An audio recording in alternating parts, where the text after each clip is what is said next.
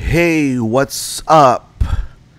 This is Animal Podcast, and this is Janelle, your host, bringing you another episode full of insights, real talk, and motivation. Okay? So this is our ano episode 2. Okay? Medyo may sipon lang ako, guys. So please bear with me, okay? Ngayon, pag-usapan natin ang isang mahalagang topic para sa mga businesses. Lalo na if you're uh, transitioning from uh, B2B to B2C. Business to consumer. Okay, so we'll, we're going to dive into the power of organic marketing, marketing strategies, and paano gamitin ang influencers para ma-level up ang brand mo. So tara, let's do this! Okay? So, ano, ito na, simulan na natin. Kung nakikinig kayo ngayon, okay, at nasa business world, sigurado akong alam nyo na na maraming companies ang nag-shift from B2B to B2C or direct to consumer. Bakit kaya? Okay? Bakit kaya? Bakit kaya nag-shift? Okay? So, yan yung mga tatalakayin natin ngayon. Okay? Yung mga yan, nag-shift yan kasi mas may malaking potensyal sa consumer market. Okay? Pero alam naman natin, hindi ganun kadali ang transition na yan. Kaya ngayon, pag-usapan natin kung paano ito gagawin ng maayos. Okay?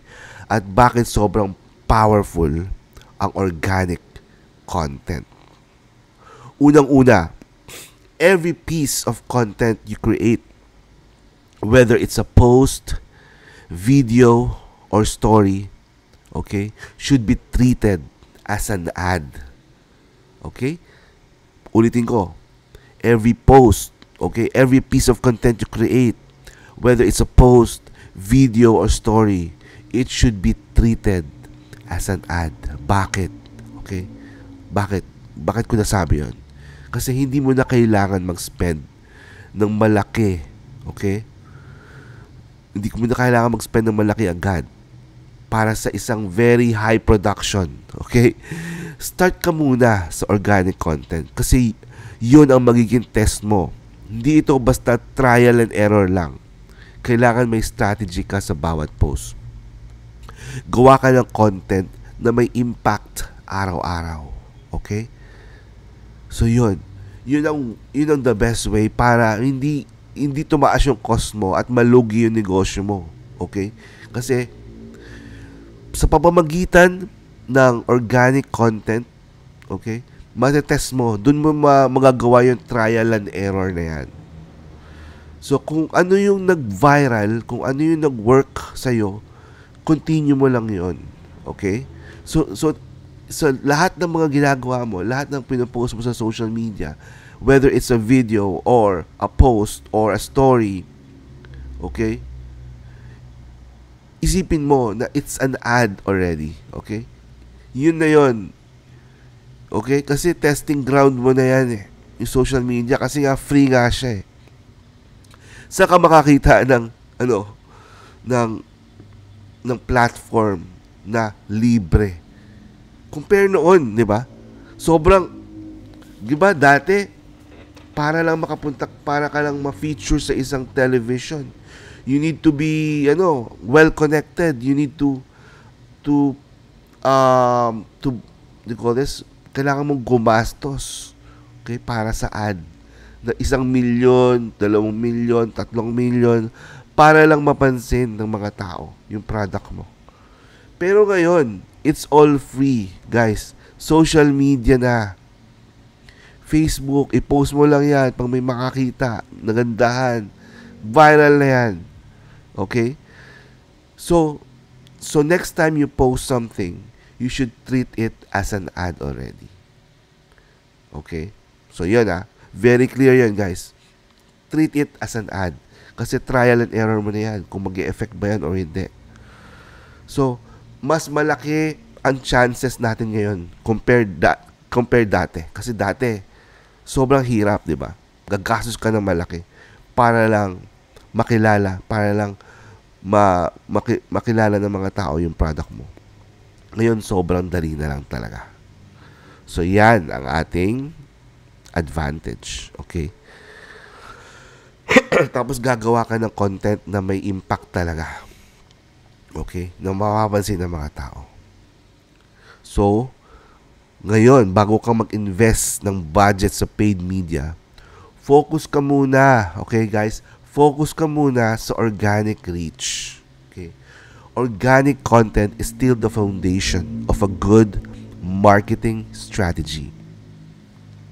Pag may nag-hit na content, saka ka palang mag, mag-invest sa ads or influencer marketing. Testing first, scaling later. Okay? So, paano yan gagawin? Okay? Yan ang tanong. Paano yan gagawin?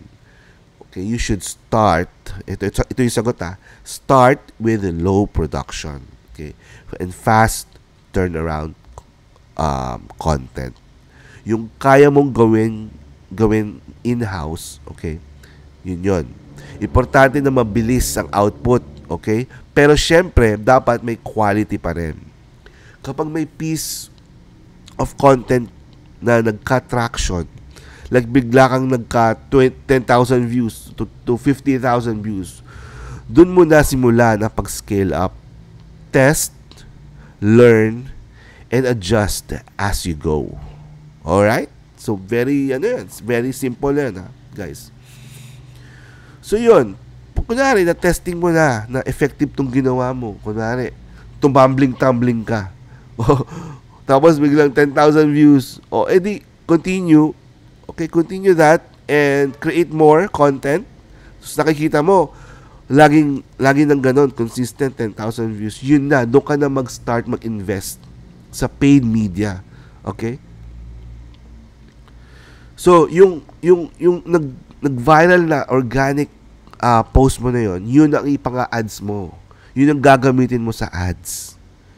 Para mag-scale up pa. Kasi nga, kung 10,000 na-reach niya eh. Di ba, na-reach niya 10,000 views. What more, kung ipipaid ano mo siya, paid ads, Facebook ad, mura lang, mura lang Facebook ad eh. Kung gusto mo ma-increase pa yung tao na nakakita ng video mo na yun, what, ano, ano what's the problem with that, di ba? So, just do it, you know? Mag-invest ka pa kasi nga, nakita mo, effective eh. See what I, see what I'm saying? But, maraming mga bagay pa, hindi lang video. Kailangan meron ka rin call to action. Nandun na yung website mo, okay? Nandun na yung kung paano sila o-order. So maraming mga technicalities pa na ito, ma- sa mga next episodes natin, ituturo ko sa inyo yan, okay? Pero for now, okay, if you if you want um, ma-expose lang sa mga tao, yan, yun ang gawin nyo. Okay? Pero yun nga, kasama doon, kailangan may call to action lagi. Okay? Bago ka mag-paid media. Kasi ngayon, you're just testing the grounds. Okay? You're just testing grounds right now. Testing ground mo tong Facebook. Okay? So, yon Tandaan yan, ha? Ah, what else? Let's move on na. Okay, we're done with the with the with your organic post. Sinabi ko ba title ng ating ano? Ang title ng ating podcast today is Organic Marketing and Influencer Power. How to scale your brand. Okay, again, ang title ng ating podcast today is Organic Marketing and Influencer Power. How to scale your brand. Okay, so sorry ngayon ko na sinabi. Alright, so ano pa ba? Saan na tayo? nasa influencers na tayo, di ba? So, let's move on to influencers. Influencers can definitely boost your brand. Pero timing and the right fit are key. Okay? Kailangan yung influencer na pipiliin mo resonates with your target market. Okay? Minsan masyado tayong na-excite sa big names, Pero if they're not aligned with your audience, you you could be missing out on real opportunities. Kaya, bago ka maglabas ng malaking budget for influencers, siguraduhin mo munang solid base ka. Okay? From your organic content. Okay? Also, don't be afraid to experiment. Sometimes, using unexpected or left field influencers can help you top okay, can help you tap into new markets. Okay? Try different angles kasi dito mo malalaman kung saan talaga tumatama yung messaging mo. Malay mo, meron kang uh, hindi pa nakikitang audience na ready na pala to engage with your brand. Okay? So yun ha, tandaan nyo. Pwede ka naman kumuha ng influencer pero you have to study well, okay? check mo yung kanyang audience. Actually, may mga insights yan eh. You, know, you can ask for their insights first. Kung target mo, female, or target mo, male, yan, makikita mo yan. You can request for the statistics. May insights yan. Sa page nila or sa YouTube nila. May mga ano yan, may mga insights yan. Uh, kunwari, yung last month na insight nila or last year na insight nila or yung current insights nila sa Facebook, yon hingin mo yon Okay? Before you invest. Very important yan, guys. Okay?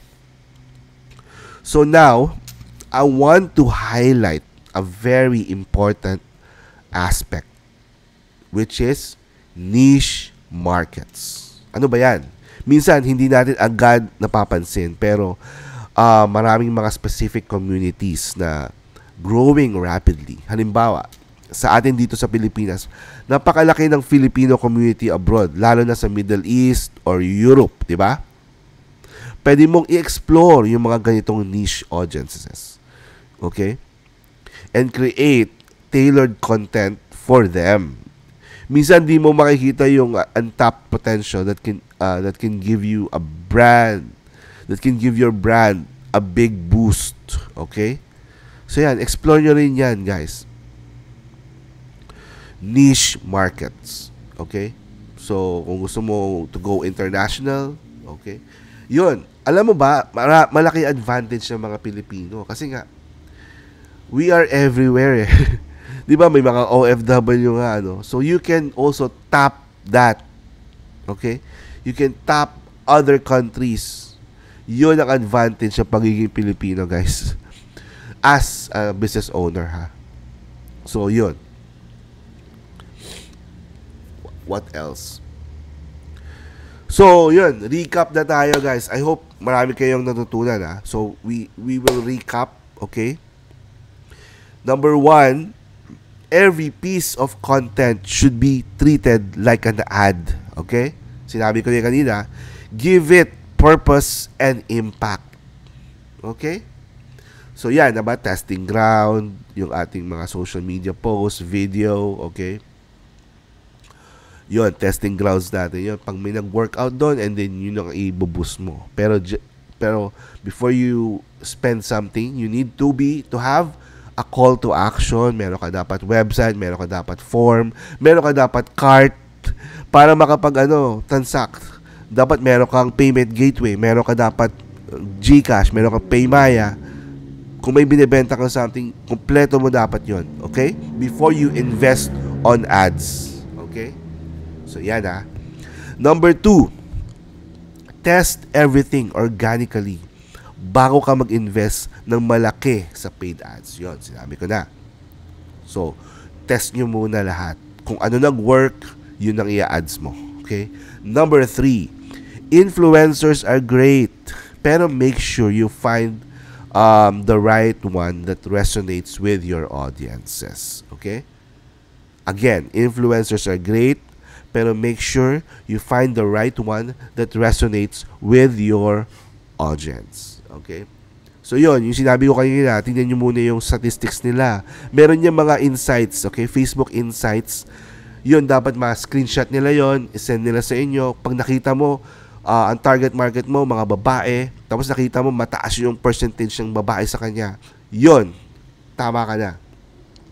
Sa tamang influencer ka na pag ganun. Okay? Alright, number four, don't overlook niche markets. Sometimes, these smaller audiences have the most potential. Okay? So, hindi naman ibig sabihin na sobrang laki ng community niya, eh, okay na yon. Hindi mo alam na yung mga niche market, like for example, uh, mga car enthusiasts, for example, yun pa yung mas malakas eh. Di ba? Yung mga niche markets, yung mga kala mo maliit lang, pero yung potential niya sobrang laki. So, don't overlook that. Okay? So, kung, kung ikaw, sa tingin mo matatap mo yung Saudi o kung matatap mo yung Italy, di ba? Or Middle East or Europe, why not, di ba? Why not? Kasi ang dami kayang mga Pilipino, marami tayong OFW, guys. Tayo lang ang ganyan. We are everywhere, guys. Mga Pilipino sobrang talented, di ba? Ang dami nating mga bansa eh, di ba? We are all over the world, guys. Imagine that. Mga Pilipino lang yung ganyan. So, yung potential ng business mo, hindi lang pang local. Pang international ka na rin. Kasi nga, we have, you know, Filipinos all over the world. So, being a Filipino is advantageous. As a business owner. Okay? So yun. Eh ngayon, ang dali namang, hindi mo naman kailangan pumunta pa doon. Okay? Para i-market yung product mo. Iba na ngayon, may Facebook na eh. Di ba? I- Mag-Facebook ad ka lang, itatar, itatap mo lang yung ano, kung gusto mo matap yung Europe, type mo doon, Europe. Di ba? Ganun guys, take advantage of that. Remember, consistency is key. Okay? Kailangan regular kang magpo-post and constantly learn from what works and what doesn't. It does not uh, it's not about um, randomly throwing things out there. It's about creating content that truly connects with your audience. So, sa mga next episode, itatalakay ko yan, guys, is uh, pag-aralan natin yung mga right um, right content for your business. Okay? So, that's it for today. Guys, our episode for today, that's it.